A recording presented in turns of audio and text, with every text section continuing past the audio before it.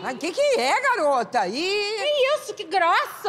Eu, hein, tá nervosinha? grossa eu. Sim. Eu tô nervosa sim, Jéssica. Olha a zona que tá essa casa. Ah, inclusive era até sobre isso que eu queria falar com você.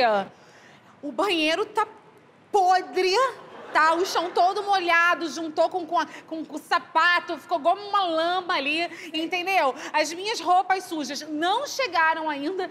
Sinceramente, mãe, eu tô desconfiando que esse Leblon aqui veio com defeito. Leblon com defeito? Defeito tem vocês, tá? Eu vou dizer uma coisa. Até agora, tinha uma pessoa aqui que lavava, passava, cozinhava e, e fazia tudo, entendeu? E não cobrava nada. Gente, cadê essa pessoa maravilhosa? Chama ela de novo, por favor. Tá de sacanagem comigo, Jéssica? Sou eu, né? Só que agora eu estou no ano sabático, meu amor. E se você não arrumar a sua bagunça, não sou eu que vou arrumar, tá? Isso é uma injustiça, porque eu sempre tento facilitar a sua vida, deixo as minhas calcinhas separadinhas, penduradinhas no box, entendeu? Fundilinho pra cima pra você já ver, entendeu? E lavar. Isso é injustiça. Só rindo, né? Quer dizer que você é organizada. Super. Ah, tá. Então arruma aí a sua bagunça. Essa bagunça não é minha. Ah, não? Quem fez essa bagunça?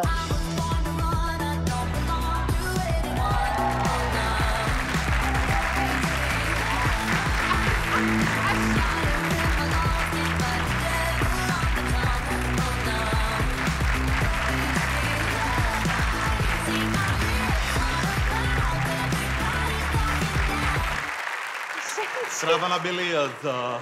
Tá um ótimo dia pra pegar jacaré na praia, não acham? Ai, coitado. Ai, pegar jacaré, vem cá, tá se achando fiorella, né, meu amor? Prá, velna, e tá achando que ainda surfa. Da onde que você surfa? Eu não surfo, meu amor. Jacaré é o rapaz que trabalha no hotel aqui do lado. Marquei de encontrar com ele no posto 9. Beijinho. Ô, oh, peraí.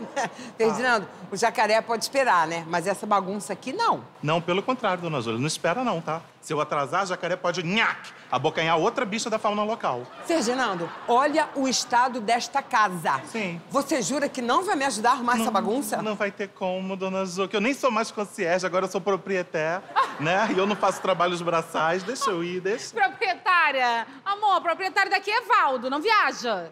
Minha linda, mas eu tenho a procuração, né? E vocês moram aqui de favor. Aí tem que compensar fazendo alguns serviços, né? Vamos logo pegando a vassoura e dona Jo pega pá? Eu não vou trabalhar, tá? Eu sou muito jovem. O combinado quando a gente veio pra cá é que todo mundo ia dividir as tarefas. E eu falei que o meu ano ia ser sabático. Mas já que vocês não estão me ajudando mesmo, eu resolvi tomar uma atitude drástica. Que foi que você fez, Dona Maria Joana? Conta logo a trama do episódio. Chamei uma diarista. Que horror. Quer dizer, que maravilhoso. Não, gente. Uma diarista é tudo que eu precisava pra me tornar uma verdadeira madame do Leblon. Ai, agora eu tô me sentindo completa, Ai, Jéssica. é maravilhoso, porque a gente também não vai precisar trabalhar. Cadê essa diarista? Que horas ela chega?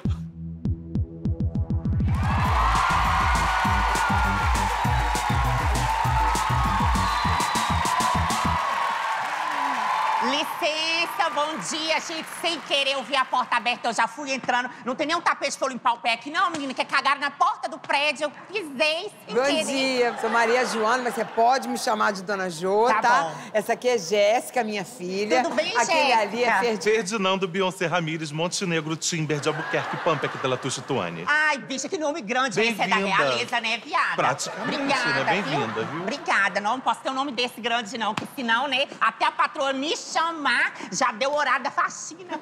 Então, já que você veio arrumar as coisas, começa pelo meu quarto, tá? Tá. Enquanto eu tomo um banho, porque aí você já me libera, eu já fico, né? Certo. Deixa de abuso, Chernobyl.